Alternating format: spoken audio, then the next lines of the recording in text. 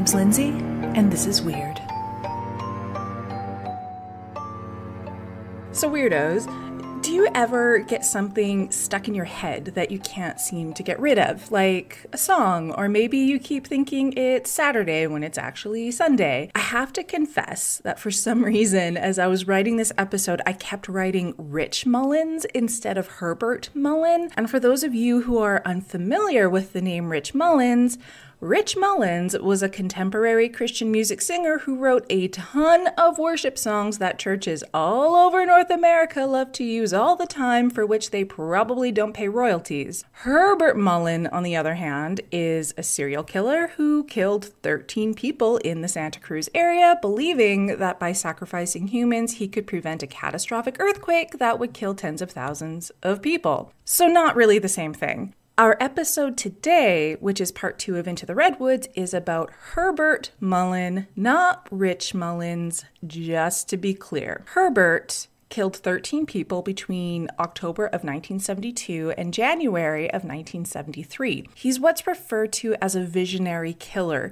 These are killers who suffer from a psychotic break with reality. Sometimes they'll believe that there's someone else entirely, and often they will claim that their actions were compelled by other entities, frequently God or Satan. The subgroups in this category are demon mandated and God mandated. An indication of this visionary classification is the victimology of of the people he murdered. He had no specific type, they ranged in age, social status, and gender. Scott A. Bonn, PhD, put it well when he said, Their murderous agenda is entirely synchronized to their internal madness. David Berkowitz, also known as the son of Sam, is another example of this kind of serial killer. I'll go into more details about the nature of Herbert's psychiatric condition in a little bit just later on. Herbert was born April 18, 1947, in Salinas, California. California. And this is the anniversary of the 1906 San Francisco earthquake. Also, Albert Einstein died on April 18, 1955. And this would become crucial for Herbert in his adult life. So keep that in the back of your brain. Also, completely unrelated,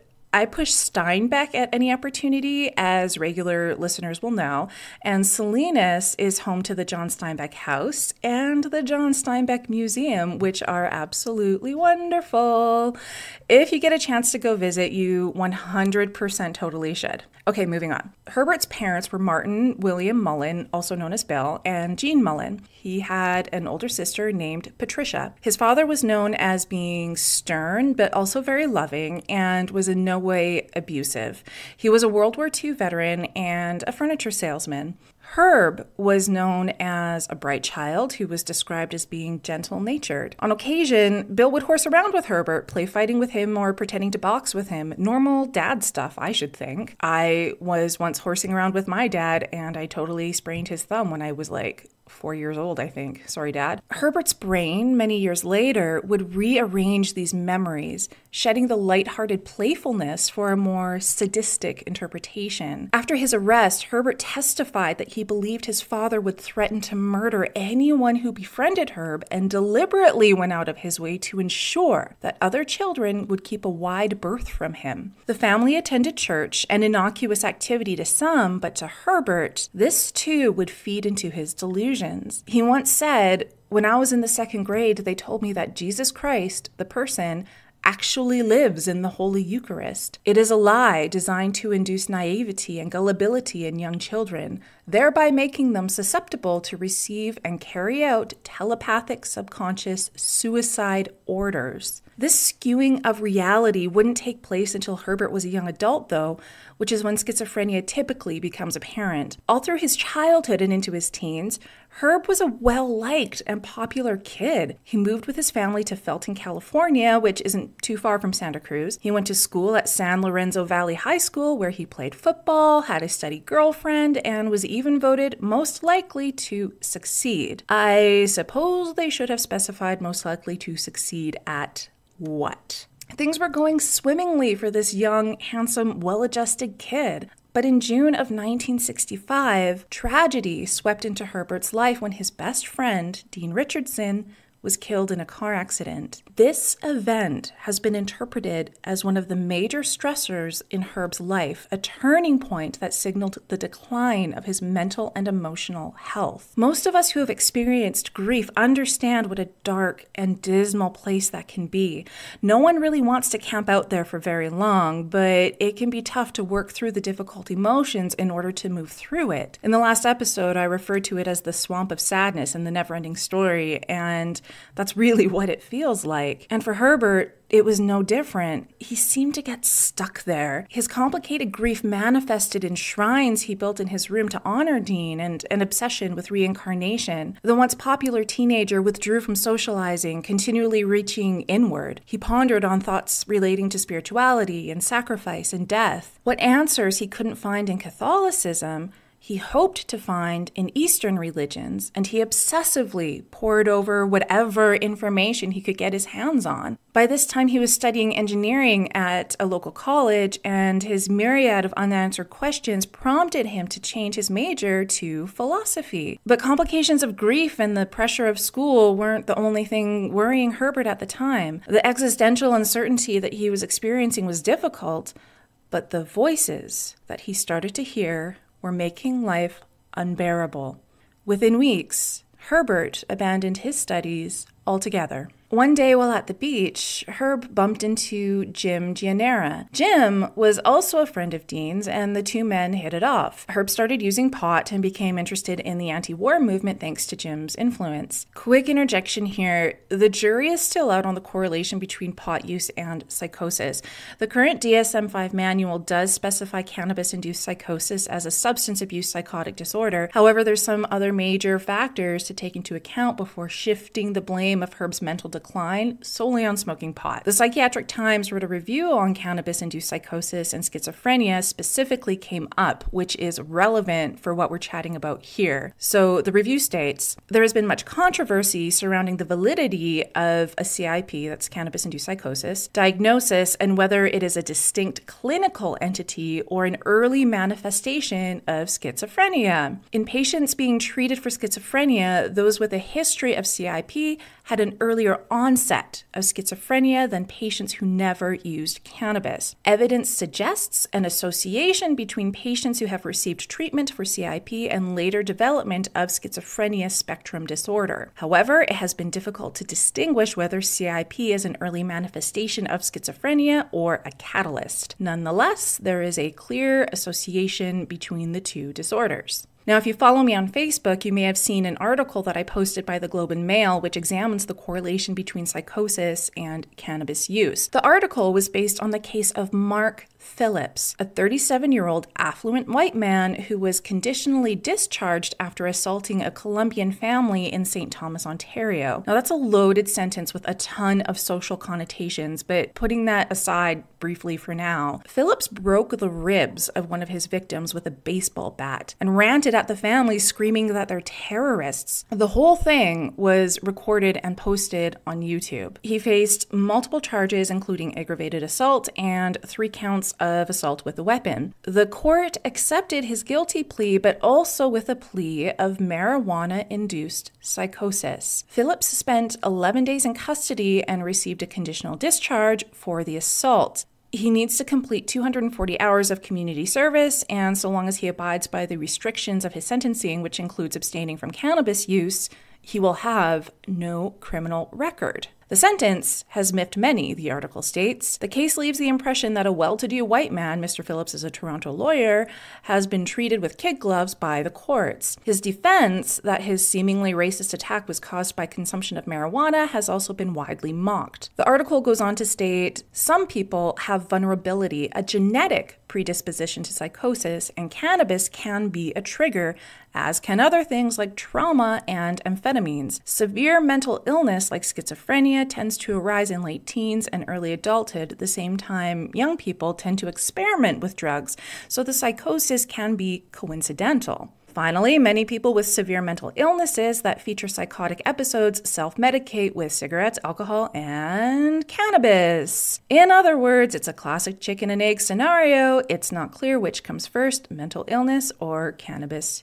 use. So, whether or not the use of cannabis specifically was a factor in Herb's deteriorating mental health, it's difficult to say. Either way, though, whether you're of the mind to blame or not blame the drugs or blame or not blame the illness, mixing the drugs with the illness is a recipe for tragedy. In Herb's opinion, the use of drugs was absolutely a factor in his murderous behavior. It's also important to note that Herb wasn't using only cannabis either, which we'll get to here in a second. He later said, Gianera spearheaded a movement to befuddle and confuse me. If Gianera had given me some Benzedrine instead, I would have become an artist. And that said, Ted Bundy also blamed pornography addiction for his proclivity for raping, murdering, and necrophilia, so there's that. Anyway, by October of 1966, Herb was also experimenting with hallucinogenic drugs and had legalized acid tattooed across his belly. He separated from his longtime girlfriend and his behavior became increasingly alarming. He would ramble on about the inevitable California earthquake and staring strangely at well, she didn't know what. The couple did reunite, however, and after getting back together in January of 1967, they got engaged. Throughout this time, though, Herb's use of marijuana and LSD was on the uptick, and his fascination with Eastern religions was crossing into obsession. Despite this, he graduated with a degree in road engineering in 1967 and went on to enroll with the San Jose State College. As with many other people at the time, he involved himself with protesting the Vietnam War and registered as a conscientious objector in January of 1968, much to the embarrassment of his war hero father. That said, it was a letter from Herb's father testifying to his demeanor as being peaceful minded that would grant him status as a conscientious objector in October of 1968. In the meantime, he had switched his major to philosophy, as I mentioned, and seemed to really find his place in the hippie subculture. But by November of 1967, he dropped out of college, and in March of 1968, he and Loretta broke up for good. Herb, as all this was happening, was also exploring his own sexuality. He recognized himself as being bisexual and later told his parents that he's gay, which at the time would have been startling considering that enjoying sex with someone who is the same sex as you was illegal in California up until 1976. And as we know to this day, the LGBTQ community still faces a significant amount of challenges due to systemic prejudices and antiquated homophobia. At the age of 21, Herb Herbert was living in a trailer on a ranch owned by his brother in law, Albert Boca. Although Herbert had been displaying what might be considered bizarre behavior, nothing had happened that those around him would consider particularly alarming until February of 1969.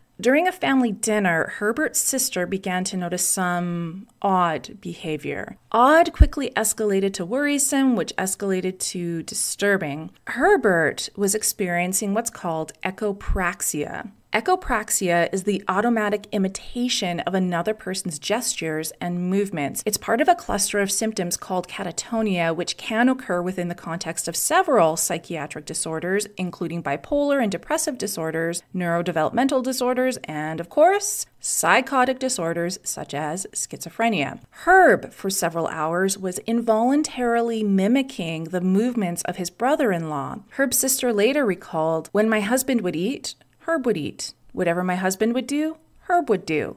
And that went on for four hours. Then he just sat and stared at us. The onset of echopraxia prompted the family to take Herb to a mental hospital. Herb went willingly and he stayed there for six weeks. He was diagnosed as being schizophrenic with substance related comorbidity. He was prescribed antipsychotic drugs and promptly released. So let's talk about Herb's diagnosis for a bit. What exactly does it mean to be schizophrenic, and how would this contribute to Herbert's violent behavior? Surveys show that about 85% of Americans are familiar with the term, but only 24% have even a cursory idea of what it is. Alarmingly, 64% believe that schizophrenia involves multiple or split personalities, which PSA, it doesn't.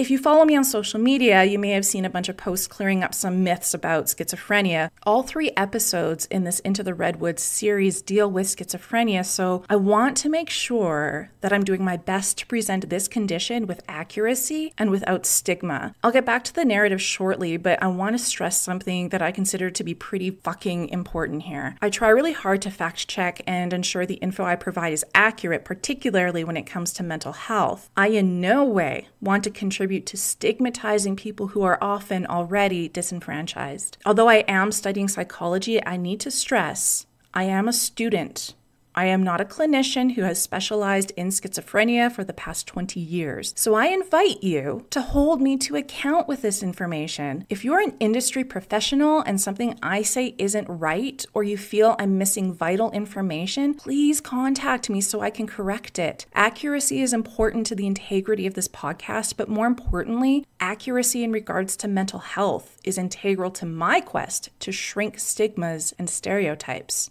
So, according to the World Health Organization, schizophrenia is a severe mental disorder characterized by profound disruptions in thinking, affecting language, perception, and the sense of self. It often includes psychotic experiences such as hearing voices or delusions. It can impair functioning through the loss of an acquired capability to earn a livelihood or the disruption of studies. Schizophrenia typically begins in late adolescence or early adulthood, there are effective treatments for schizophrenia, and people affected by it can lead a productive life and be integrated in society. Worldwide, schizophrenia affects over 21 million people. And although it's treatable, a staggering 50% of those who are coping with the condition do not receive care. The symptoms of schizophrenia vary and include delusions, hallucinations, disorganized thinking, agitation, affective flattening, which is a reduction in a person's range of emotional expression, alogia, which refers to the person's speech, replies may be brief or empty, avolition is another symptom which suggests an inability to pursue and complete goal directed activities. Schizophrenia has several subtypes, paranoid, disorganized, catatonic, and undifferentiated. So, the causes of schizophrenia can be complicated and they may involve multiple contributing factors, but the main components include genetics, it does run in families, and the chemistry and structure of the brain. Scientists are also studying variables such as complications during pregnancy, malnutrition, child abuse, and viral infections as possible contributing factors. It can be difficult for most of us to comprehend just how devastating and unbearable delusions and hallucinations can be for those who suffer from them. Expecting a schizophrenic to simply ignore these things or somehow switch them off is grossly oversimplifying a complex and incredibly difficult issue. For example, you're hearing my voice as I say this, but how do you know it's mine? How do you know it's not yours? I sound real enough. I probably don't sound like you or your mother or your best friend from high school, but how do you know? How do you know you're actually hearing me? In an article written for Psychology Today, Betsy Selfter, PhD, states People with schizophrenia, as well as those with bipolar psychosis, seem to want to protect themselves first and foremost. Sometimes they want to right some enormous wrong and save the world. Sometimes they want to stop the hurt and end it all. A world where nothing looks real and no perception can be trusted where the TV is sending cryptic messages and the faces of loved ones are distorted masks, is at best unsafe, and at worst, intolerable. Although the media likes to portray schizophrenics as violent and unpredictable, this really is a miscarriage of information. The person at the greatest risk is the person who is coping with the illness. Tragically, according to schizophrenia.com, over 40% of people with schizophrenia will attempt suicide, and 10 to 15% of people with schizophrenia will complete suicide. So, to bring it back to this three part series involving John Linley Frazier, Herbert Mullin, and Edmund Kemper, I want to be very clear when I say that yes, absolutely, the mental health of these men was a contributing factor to their actions, but it would be irresponsible to imply or lead you to believe that everyone who has schizophrenia is a danger to society. Robert Ressler, the FBI agent who coined the term serial killer and had a significant influence on the psychological profiling practices of violent offenders that are used by the FBI Today said, Let me say at once that schizophrenia is completely misunderstood by the lay public. Schizophrenia is the most prevalent of all the psychoses, and paranoid schizophrenics are the most common of the schizophrenics. Most paranoid schizophrenics are not violent, however. In fact, the vast majority are harmless. The percentage of harmless people among schizophrenics may well be lower than it is among the normal population. No matter, though, for the crimes that are committed by paranoid schizophrenics are so gross that when brought to light, they bring censor down on all of the mentally ill. Herbert William Mullin was one of those who give mental illness a bad name. So I hope that gives you some context around what Frazier, Mullin, and Kemper were dealing with at the time. Remember as well, the psychiatric practices of the nation were undergoing a huge transition from state care to a more localized strategy. This resulted in communities being ill equipped to handle the influx of people with severe psychiatric conditions. Consequently, drugs were overly prescribed and long term care was drastically reduced, meaning that people who needed to be in the care of psychiatric professionals were being discharged prematurely. And this will come up over and over and over again in the case of Herbert Mullin. Mullin had been committed to five psychiatric hospitals, but was always discharged, willingly or unwillingly. His parents tried their best with what they had, but a private hospital would cost $100 a day, something that they just couldn't afford. By now, May 9th, 1969, Herbert discharged himself even though his prognosis was listed as being grim. He got a summer job as a dishwasher in Lake Tahoe, but moved back home in August of 1969. That same month, he had an encounter with a park ranger who asked him to leave the park when he found Herbert meditating cross legged in a trance like state. Herb refused to go and attempted to pull a knife on the ranger, who managed to subdue him before he was able to grip the blade, thankfully. Herb was arrested without incident and was soon released. In the autumn of 1969, Herb started treatment in Santa Cruz at the Drug Abuse Prevention Center, but his behavior continued to escalate in alarming ways he started to speak of messages that he was receiving, which were commanding him to do things. After sessions of deep meditation, he would use lit cigarettes to ritualistically burn his penis. A concerned friend, toward whom Herb made aggressive sexual advances, contacted Herb's uncle, who was also a doctor. His uncle recognized the markers of schizophrenia and had him committed to a psych ward, where he was then diagnosed as being a paranoid schizophrenic. His prognosis, again, was grim, with reports reading As a result of mental disorder, said person is a danger to others, a danger to himself, and gravely disabled. Due to the seriousness of Herb's condition, he continued to receive long term care at the facility and through psychosocial interventions was able to go on to live a quiet and happy life. Just kidding. Herb was released on the condition that he attend group therapy, which, to the surprise of literally no one, he failed to comply with. There's a lot of debate around why Herbert Mullin did what he did. Herbert believed that he had to kill in order to save tens of thousands of lives. He believed his victims were consenting. He believed it was a mission ordained by the divine. The voice of his father would speak to him, commanding him to kill, saying, Why won't you give me anything? Go kill somebody. Move.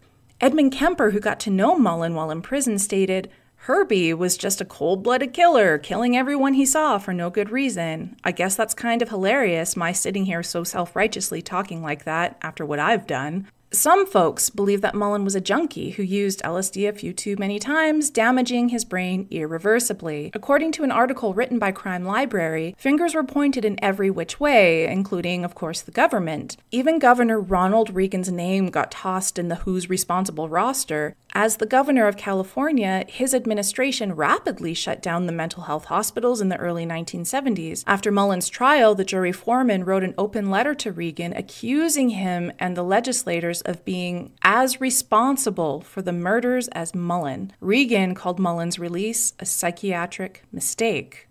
Herb got a job as a dishwasher at the Holiday Inn, but despite his best efforts to maintain some semblance of normalcy, he wasn't taking his medication with regularity, nor was he attending the therapy sessions mandated by the psychiatric facility. That summer, he went to Hawaii with a friend, Pat Brown, and almost immediately ended up back in a psychiatric ward. Once his condition stabilized, he was discharged and returned home to California. Upon returning to California, Herb was arrested for possession and being under the influence of drugs. While in prison, he was, of course, deprived of his medication and his behavior became more erratic. The prison sent him to the county hospital psychiatric ward, which released him.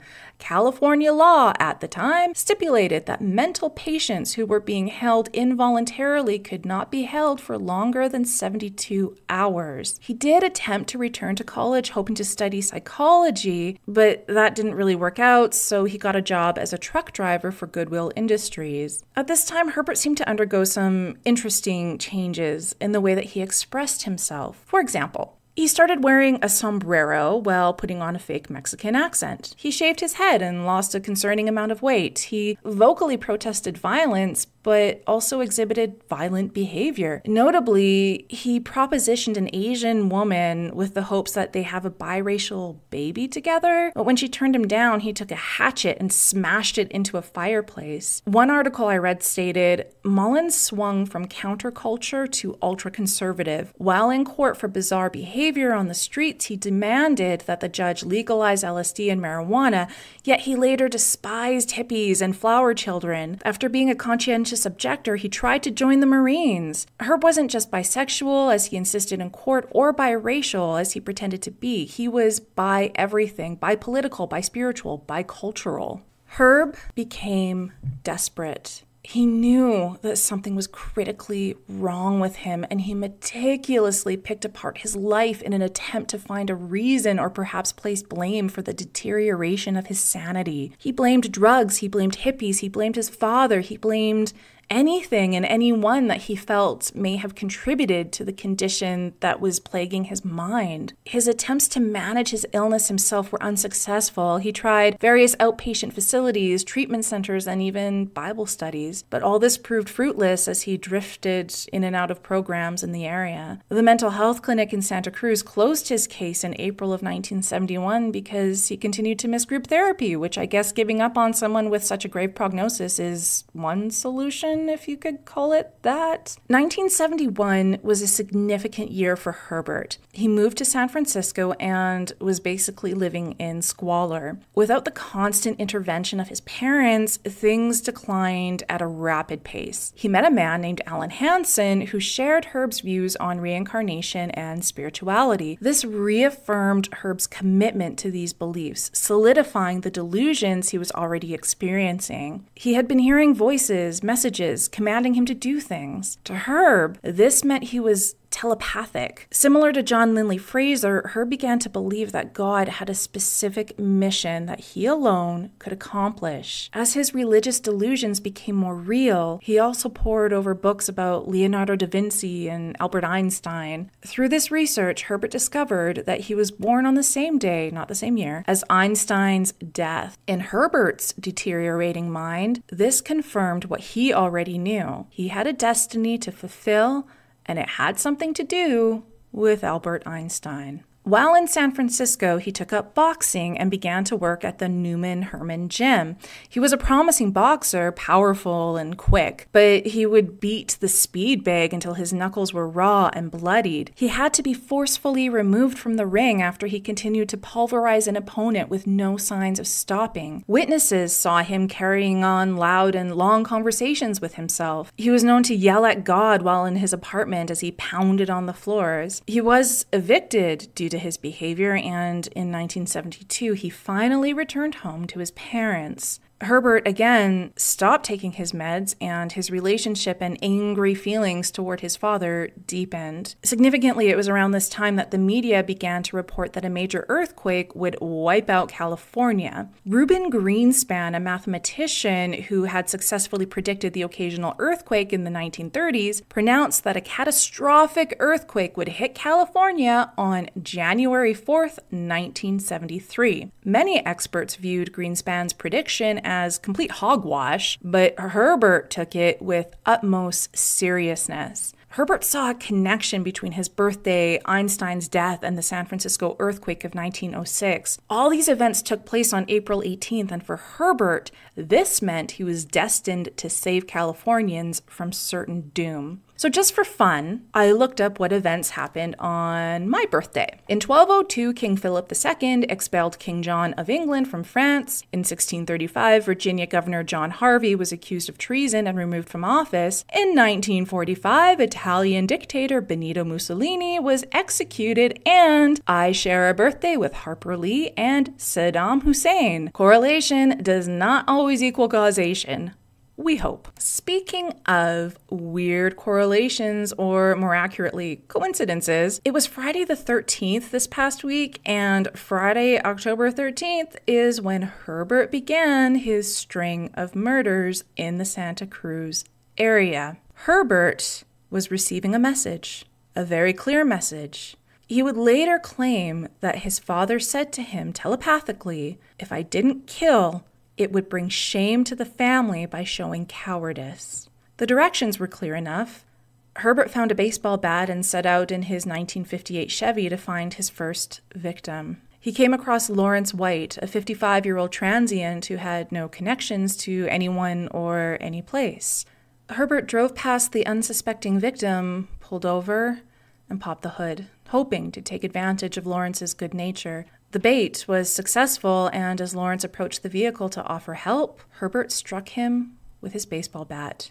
Herbert later claimed that Lawrence had been communicating with him telepathically, telling him that he needed to be killed so that others could be saved. Lawrence was largely forgotten. He had no family to speak of, no friends. He lived a solitary life to the point that the media, for the most part, shrugged off his murder. Platitudes of sorrow were as barren as his funeral.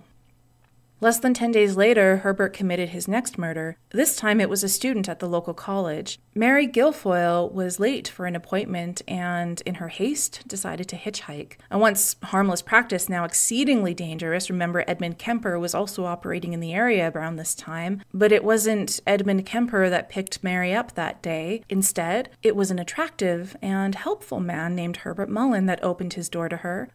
Herbert stabbed her multiple times, dismembered her body, and scattered her parts along the road. Mary was the only one of his victims that he dismembered. Crime writer Shirley Lynn Scott states about Mary Mullin thought he could see inside people's heads, but now he wanted to see inside their bodies. Whatever it was he saw, it was enough to dissuade him from recommitting this grotesque and morbid autopsy again. If voices were commanding him to kill, he was overextending into fetishistic savagery.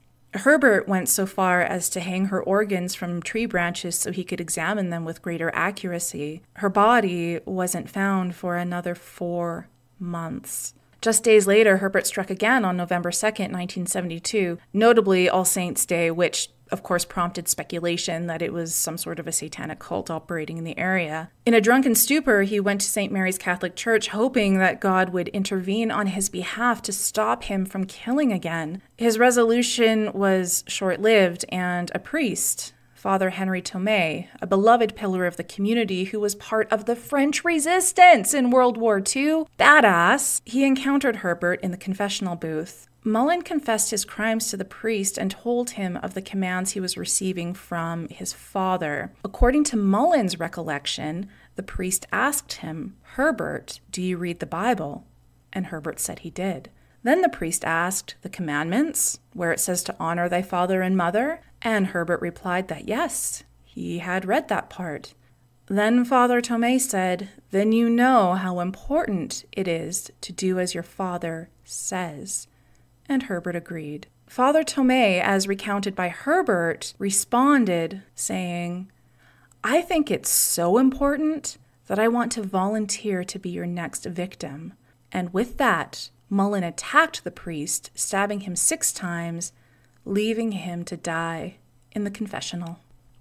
Amidst these brutal murders, Herb had applied to the Coast Guard. He received news that he had been rejected for failing the psychological evaluation, which I would hope so. But that said, he did pass the physical and mental evaluations for the Marine Corps. He wouldn't release his criminal record to the military, and so he was ultimately refused entry. But Herb's logic was simple if he could kill people in the war, he wouldn't have to kill people at home. He could continue to fulfill his destiny guilt free, sanctioned by law. But because he was ultimately rejected by the Marine Corps, his plan ultimately failed, and so Herbert was left with no choice but to continue his quest to save California through murder.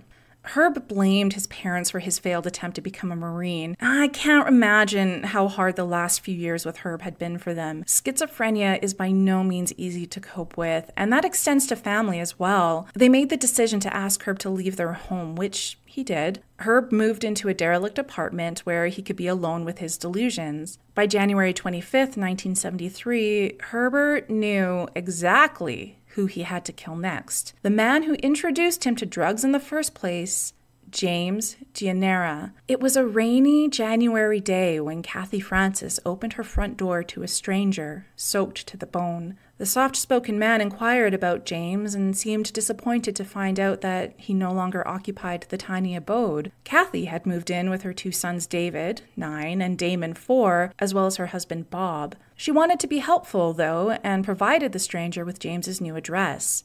She closed the door, and Herbert went on his way. James wasn't far, and in no time at all, he pulled up to the house of his next victim. Upon entering the home, he shot James and then turned the gun on his wife. With a hunting knife, he stabbed the corpses over and over again.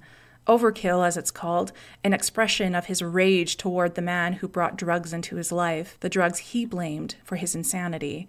Thankfully, the infant daughter of James and Joan was not at home at the time. Knowing that Kathy Francis would easily be able to identify him, he returned to the small shack she occupied and continued his rampage, murdering Kathy and both her young sons. So, February of 1973 brings us to Henry Cowell State Park. This is the same park that was referred to in episode 13 about John Linley Frazier. Brian Scott Card, David Oliker, Robert Spector, and Mark Dreibelbis were enjoying a carefree day in a makeshift tent that they had built. The tent was technically illegal, built in an area that wasn't meant to be occupied by campers. Mullin found them and aggressively demanded that the boys pack up their belongings and vacate the premises immediately, just as the park ranger had demanded him to do previously. The boys managed to successfully rid themselves of Mullin and and thought nothing more of it. The following day, Mullin returned, enraged to find that the boys had not heeded his instructions, and Mullin later asserted that he telepathically asked the boys their permission to murder them, and they willingly complied. Upon their refusal to leave the area, Herbert executed each of them one by one. Herb's final victim, Fred Perez, met his untimely end on February 13, 1973. Herb received a message telling him that he had to kill someone and he set about to obey the command. Fred was working in his driveway when Herb found him. The incident was over almost as soon as it started. Herb pulled up, shot him once through the heart, and calmly drove away. This time, however, there was a witness. Fred's neighbor heard the gun and was able to catch the license plate to Herb's vehicle. That same day, Herb was arrested. He went willingly and quietly, too quietly, since at first he refused to say a word to anyone. And the following day, Herb's apartment was searched by authorities. They found an address book with the Gianera's address in it, newspaper clippings of the murders, and a rosary pouch, which was revealed to belong to Father Tomei.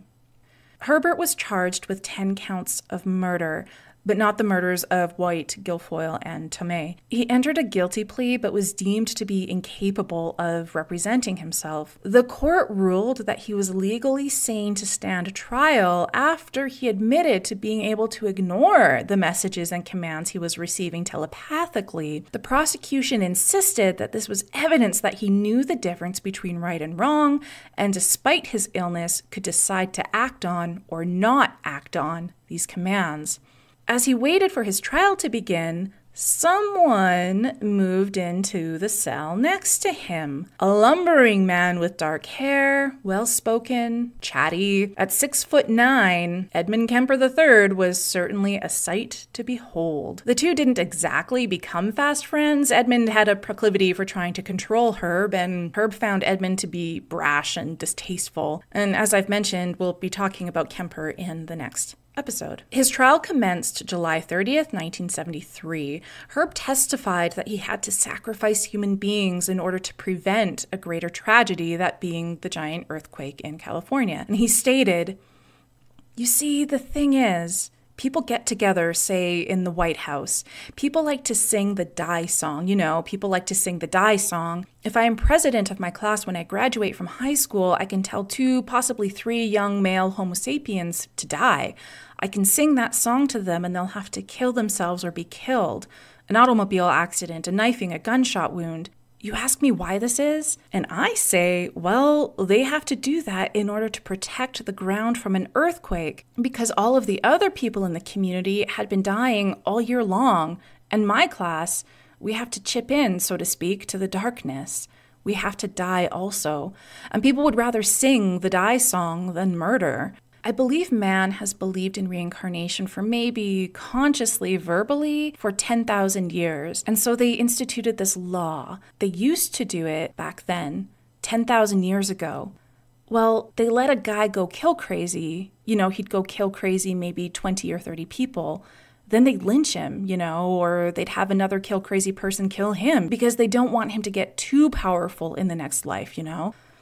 During the trial, various psychiatrists and specialists were brought in to examine Mullin in an effort to fully understand his mental health. Conflicting theories began to arise, with some psychiatrists claiming that Mullin only thought of the earthquake theory after his arrest as a way to try and play up his insanity plea. Other psychiatrists, however, pointed out that in the months leading up to the murders, Mullin chronicled his attempts to harvest statistics and information regarding death tolls and natural disasters. He would even write the UN for more numbers and statistics. Herbert Mullin was found guilty on August 19, 1973. He was sentenced to life in prison with the possibility of parole in 2025 and is currently housed in the Mule Creek State Prison in California. Robert Ressler interviewed Mullin while in prison and found him to be docile, polite, and handsome, though not particularly keen on chatting. Ressler recalled these conversations with Mullin in his book, Whoever Fights Monsters, and he says, Mullin stated that he had committed his crimes only in an attempt to save the environment. Mullin displayed all the signs of serious mental illness. Ressler goes on to say that he was in a penitentiary with career criminals was ridiculous at best and unwise. He should have been in a mental institution. And that's part two of Into the Redwoods, Herbert Mullin. Moving swiftly along into what's weird this week. Students at an elementary school are eager to play detective upon discovering a mysterious message in a bottle. The students of Inverkip Primary School, Scotland, found the bottle during a beach cleanup event. The letter was signed by someone named Andrew Mears and was dated as being from 2007. The message said, Dear rescuer, I am floating out to sea holding on to a piece of driftwood, last landmark, Greenock Esplanade. I have been surviving on seaweed and fish. I am not sure my body can take much more. My coordinates are 30 degrees longitude and 24 degrees latitude, heading for the Arctic Circle. Can see polar bears and penguins too. You will be rewarded with some of my treasure if you send help. Yours helplessly, Andrew Mears. Although the faculty maintain that the coordinates show the letter to be nonsense, the children are, of course, curious to discover the note's origins. And yeah, I can confirm, I looked up the coordinates, and according to Google's reverse geocoding tool, Mark is apparently floating around on a piece of driftwood somewhere in south central Egypt. Teacher Victoria Chalmers stated, The children are very eager to find out who Andrew Mears is and if we can get in touch with him. If anyone knows of him, we would love to hear from you. So, Andrew Mears. If you're still floating out there on your piece of driftwood and you happen to also be listening to this podcast, please get in touch and let's solve the mystery for the children of Inverkip Primary School. As always, thanks for listening to Weird, a podcast of curiosities. Next week, we're wrapping up our Into the Redwoods series with Edmund Kemper. If you liked what you heard and you'd like to hear more, I would appreciate it if you could take 10 seconds to rate, subscribe, and review the podcast. If you have questions, concerns, ideas, general thoughts you'd like to share, give me a shout out on Twitter, Instagram, or Facebook at The Weird Pod, or you can hit me up on the website at www.theweirdpod.com. We shall reconvene next week for episode 15, and until then, stay weird.